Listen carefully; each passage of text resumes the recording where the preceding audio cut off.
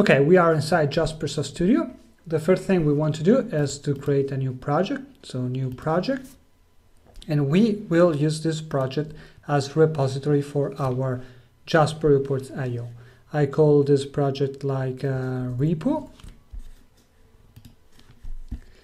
And uh, this is not necessary, but that's uh, a suggestion that I usually uh, give when working with Jasper Reports I want to create a new folder called repository.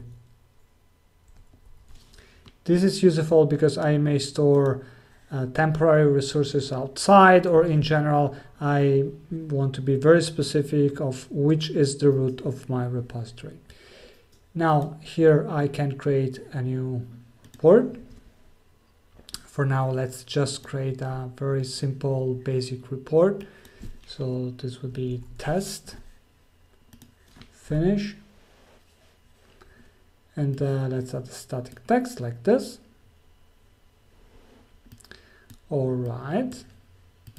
Now we want this report to show all the data even if we don't provide any data. So when no data type I want all section not the date and uh, now we need to tell Jaspersoft Studio that this repository is actually a Jasper Reports IO repository so I save this file I select my project, right click, repository type, Jasper Reports IO.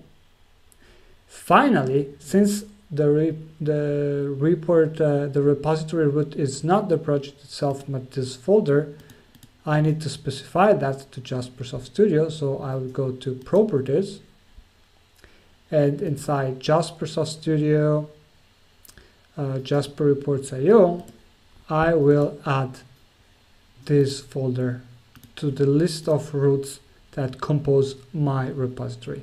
A repository may have several roots, but I want just this uh, folder to be the root of my repository. Uh, I can preview my report. Now you see here that Jasper Studio is suggesting me that I'm working in the, the context of Jasper Reports IO. I will preview this report this report is executed by our remote instance of Jasper reports that is uh, has been spawned on this port and uh, I see the result here. Please note that I can actually open a browser and see my URL in external browser.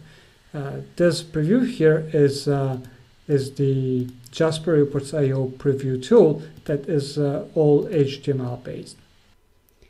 Okay, that's all for this video. In the next video that you will find in the description, we will continue our set of videos about Jaspersoft Studio and Jasper Reports IO. We will see how to create a more complex repository, how to create connections, and uh, also how to use custom visualization components inside Jasper Reports IO.